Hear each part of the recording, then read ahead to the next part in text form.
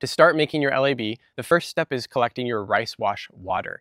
And if you have ever washed rice before, you already know about this stuff. If you haven't washed your rice, you should because it improves the quality, culinarily speaking, in my opinion. I've got a cup here and I'm gonna cook that for dinner tonight. Just go ahead and add one cup of dechlorinated filtered water and then we're gonna mix it up with our hands really good. I like to mix this up with my hands for at least a minute so that I kind of get a ton of the starch off of the rice. Once you've got a really cloudy liquid, you can strain it off using your fine mesh strainer or you can be really adventurous and you can just wing it, kind of pour it willy-nilly. For cooking rice, by the way, I like to wash mine a minimum of two times, sometimes three, because even more starch will come off and that stuff is gonna gum up your rice.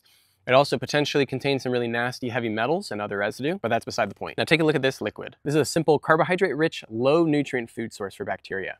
Now where do the bacteria come from? Well, they're pretty much everywhere. They're in the starch already because they're on the surface of the rice grains. There are also a small number of bacteria just floating through the air that will incorporate themselves. But the real trick here is that once you've collected this starch water, it's going to start culturing, fermenting. The bacteria, specifically the lactic acid bacteria, are going to start consuming the starch.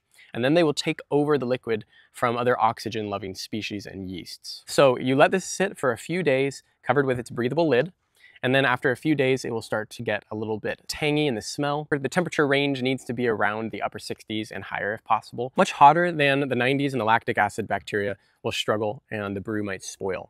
Again, this is a very low risk ferment. If you're, you're spending pretty much no money here, it's just all the rice that you hopefully had on hand already. Once a few days have passed and you're starting to smell that tang, you also might see kind of a white film starting to develop on the surface. If there's colorful mold on the top of the rice water, you need to toss it and start over.